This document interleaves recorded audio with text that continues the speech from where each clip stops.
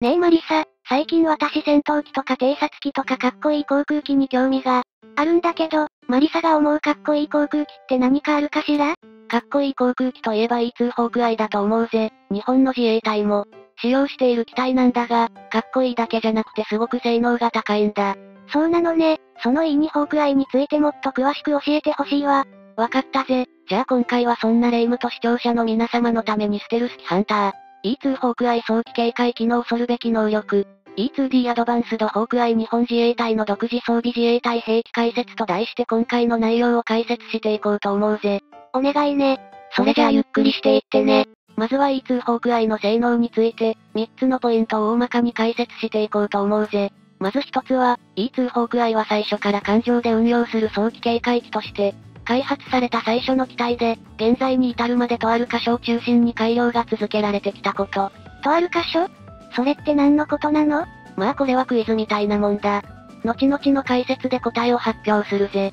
二つ目に最新型の E2D アドバンスドホークアイは新型のとあるものを搭載し、ステルス機の探知さえ可能とされる。三つ目に、日本向けの E2D は拡張されたあるものにより対空時間が伸びている。今回はこの三つに焦点を、絞って解説していこうと思うぜ。というわけで、まずは E2 ホークアイの基本的なスペックについて解説していくぜ。さっき E2 ホークアイは戦闘機じゃなくて早期警戒機って、言ってたわね。中でも一番最初に開発された機体だとか。そうだな、E2 ホークアイは戦闘機とはまた別の早期警戒機というジャンルに入るんだ。同様の機種にはロシアの約44、中国の KJ600 がありますが、前者は実用化されず後者はまだ、試作段階なんだぜ。実際に運用されているのは、現時点だと E2 ホークアイのみってことになるな。世界で唯一の早期警戒機、なんだかロマンがたっぷり詰まってるわね。ああ、そんな E2 ホークアイの試作機の初飛行は1960年10月21日。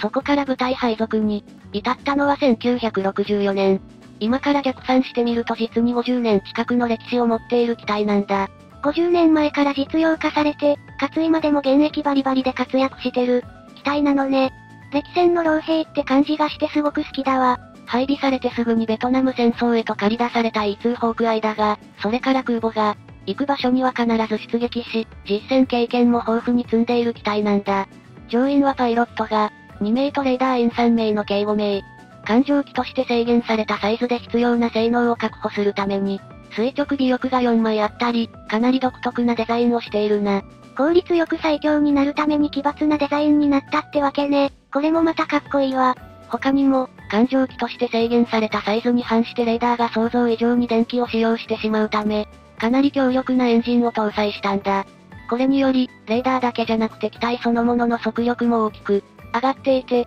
1991年には中型ターボプロップとしての速度記録や上昇記録を更新しているんだ。なるほど、レーダーを強化するつもりで搭載したエンジンが大きな性能の上昇に、貢献したってことね。こういう話の流れにも様々な歴史を感じるわ。とはいえ、レーダーを搭載したデメリットは確かに存在するんだ。レーダーを搭載したことや4枚ある、垂直尾翼に舵が3つしかないという左右非対称さなどから、操縦の難易度が非常に高い、ものとなっているんだ。が、そうは言ってもレーダーも日に日に進化している。素早い対応が求められるのは、艦上機だけであり、システムは離陸前に準備を整えられ、飛び立ってすぐに任務を開始できる。初期型の A 型はアナログコンピューターを採用していたことから処理能力や稼働率に問題があり、B 型から、コンピューターがデジタル化、さらに C 型ではエンジンにさらなる強化が入った上にレーダーも新型化。こんな風に段階的にレーダーに改良が加えられており、かつ元の性能が非常に高かったこと、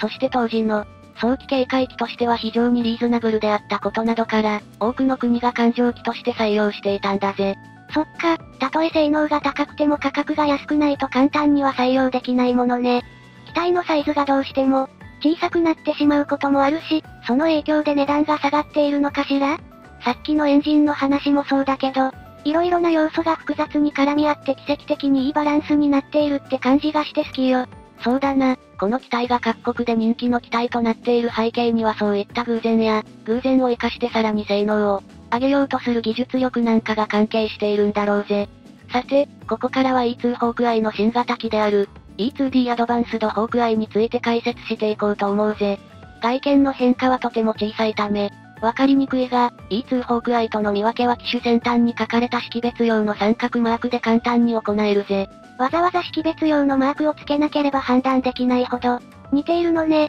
てことは性能も大きくは変わっていないってこと？いや、そういうわけではないんだぜ。アドバンスドホークアイをホークアイと、区別しなければいけない理由として、機体の重量が大きく上がったことが挙げられるんだ。その重さの分だけ前の機体とは差が生まれているんだぜ。とはいえ、やはり特徴はレーダーの性能の高さだ。新型のアクティブフェイズドアレイレーダーという高性能レーダーを搭載しているんだ。なんだか聞いたことのない単語が出てきたわね。どんな装備なの？これはフェイズドアレイレーダーと呼ばれるレーダーの一種で、この特徴といえばレーダーを動かさなくても、操作が可能になっている点だ。が、E2D では従来通りレーダーが回転するようになっているんだ。そうなの？じゃあわざわざ新型にした意味がないんじゃないかしら？いや、そうでもないんだぜ。アクティブフェイズドアレイレーダーには、回転を停止して操作範囲を、1点に絞る代わりに通常よりも遠くまでレーダーを起動することができる機能があるんだ。元の探知可能範囲が従来と比較して250%増加しているんだ。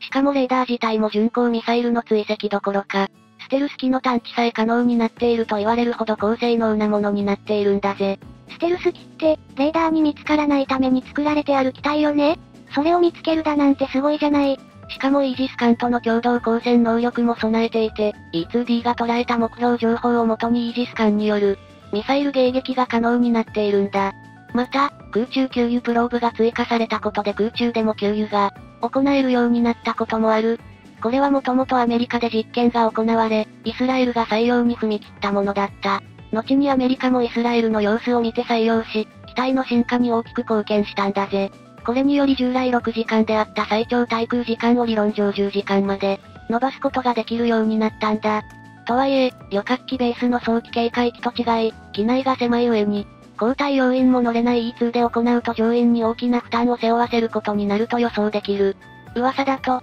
機内の簡易トイレの信頼性が低く、多くの乗員がおむつを着用してミッションに従事しているとのことだ。そうなのね、意外な弱点って感じね。ここからは乗員が多く乗っても大丈夫なように改造するとか、簡易トイレみたいな戦闘に直接関わらない部分の調整とかが重要になってくるのかしら。そうだな、今後の展開に期待だぜ。さてこの E2D だが日本でも2015年に採用が、決定されたんだ。既存の E2C の増強用として13機の調達を計画しているぜ。そうなのね、今までの機体になり変わるって感じじゃないのはどうしてなの？南西諸島でのスクランブル増加に対応して分散配備を行った結果、代替して機体の数が、変わらないままになってしまうと機体が足りなくなってしまうからだな。とはいえ既存の、E2C も老朽化が著しく進行しているから、将来代替用になる可能性は十分にあるんだぜ。なるほどね。そういえばさっき日本の機体には特別な装備があるって言ってたけど、あれは何のことなの？その答えはフルウェットウィングという拡張された良くない燃料タンクだぜ。これにより空中での、給油を行わなくても8時間以上対空できるという破格の性能になっているんだ。他にも、ユニット式トイレや食事や飲み物を温められるギャレー、本来タンクを搭載する上で消えるはずだった。翼の折りたたみ機構など、様々な要素が追加されているんだ。これは、日本はアメリカと違って機体を、陸上で運用することから、